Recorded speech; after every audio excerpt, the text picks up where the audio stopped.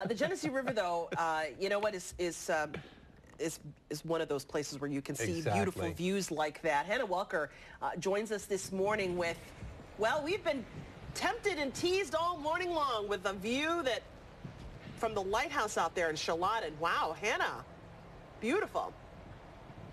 I know you were talking about it getting misty. We've got to get inside the lighthouse, Fred. I mean, we've been teasing these people all morning. So let's take a walk inside. Okay, We're at the go. bottom of this historic Genesee lighthouse. When you walk inside, Fred, explain sort of the significance of the stone around it. Okay, the original stone was 1822 when the tower was built.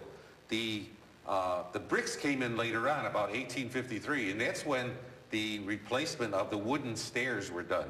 Then we, we wound up with the spiral staircase. And you can see these stairs, they're, they're, in, they're in sections.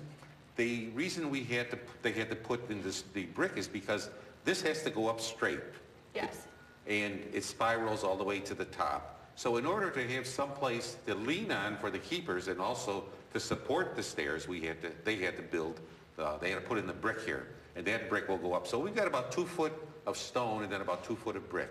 So Fantastic. as we go up the stairs, you also notice we have, a- we have a uh, rope here put on for our safety. This is going to be replaced with a metal uh, railing eventually. And that's one of our plans. So that's part of our renovations over here. And these, these stairs will also be painted eventually. This is going to be a project for next year. Total cost of all the renovations just in the tower is about $168,000. Wow. So we're going to be heading up to the place where the lantern will, will be put in today. By noontime, we will have a lantern up there. Pretty darn cool. Yep. One of the guys out there was saying when he shines the light, he's probably going to cry. Yes, he will. It brings tears to people's He eyes. He has spent Pretty many, amazing. many hours here. And Pretty, pretty cool. Uh, Tom, So, Tom Clayton is the person that has done most of the work, a lot of the planning with the, the- with the county, uh, because Monroe County actually owns the property here. yeah. Well, what's really cool about this is all the way up, it's like you see the beautiful, you know, brick and just the structure itself is so historic. I mean, parts of this really date back to Yes. 1822. And what's cool, we're gonna we're gonna get all the way up here so that we can get a good shot out of this first window that we come to.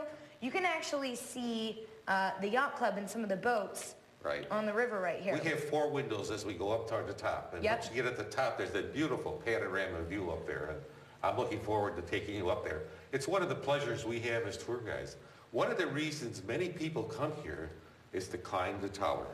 There's some towers you cannot go up. There's some towers that are, have many more steps than we have. There are over 200 steps in some of the towers that I've gone to along the uh, New Jersey shoreline. So I know, well, I was preparing physically for this, thinking were? that Good. maybe there were going to be more steps, but I think this is something that we can handle, and you can handle- anybody, Okay, good. anybody really can handle. And you say people of all ages love to take tours here? Right. Yep, we have little kids that come up here. Uh, We, we have a few requirements. We make sure that you have proper shoes on. uh, Right. Because you have to be very careful climbing up these steps, especially coming down it. Uh, Flip-flops are something that uh, hopefully... Might be dangerous. They could be dangerous, and we hope that people would be very careful. We warn them when they come up with the, flip- when they come with flip-flops here. Right. Well, fantastic. Well, you know what, Fred? Uh, we're going to continue our trek up, and in our next segment, I promise, we're going to give you that view from the very, very top. So stick around. You won't want to miss it. Again, we are, we're almost there, Hannah. Welker for the win.